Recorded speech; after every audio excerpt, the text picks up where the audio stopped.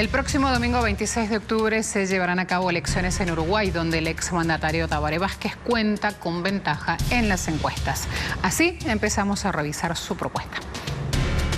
El partido oficialista Frente Amplio de Uruguay se mantiene como favorito para ganar las elecciones presidenciales en octubre, aunque las encuestas reflejan que los candidatos irían a una segunda vuelta. El candidato Frente Amplista cuenta con una intención de voto del 39% frente al 30% del contendor del Partido Nacional, Luis Lacalle.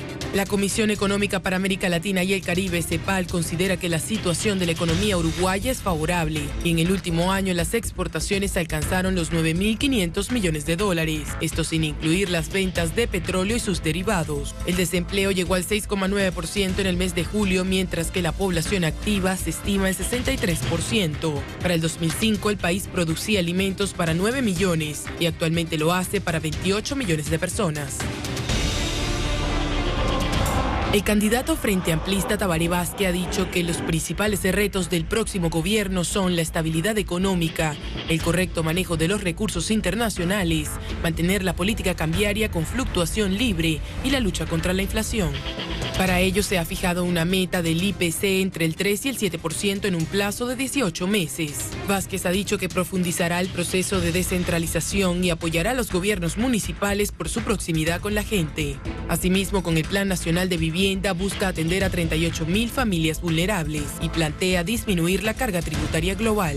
Asimismo, potenciará las infraestructuras con un plan quinquenial que abarque obras viales, ferroviarias, aeroportuarias y de telecomunicaciones.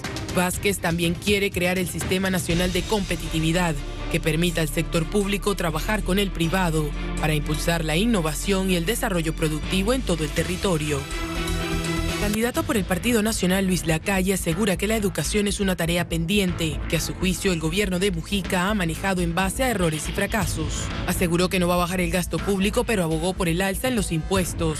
Asegura que su plan de gobierno contiene más de 800 propuestas, pero menciona poco en sus discursos, porque si un candidato promete mucho, viene la desilusión. El Sindicato Único de Trabajadores de la Construcción ha criticado su propuesta que busca derogar la ley de responsabilidad penal, que vela por la seguridad en el trabajo y los ampara en caso de siniestro laboral.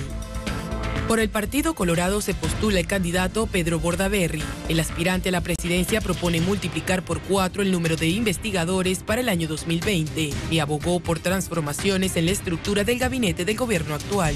Propone la creación de un Ministerio de Turismo y Desarrollo Inmobiliario y asegura que el PIB se multiplicará por 15 en los próximos 15 años. Ha dicho que los programas sociales deben significar un compromiso por parte del beneficiario, a su juicio, para evitar la desigualdad.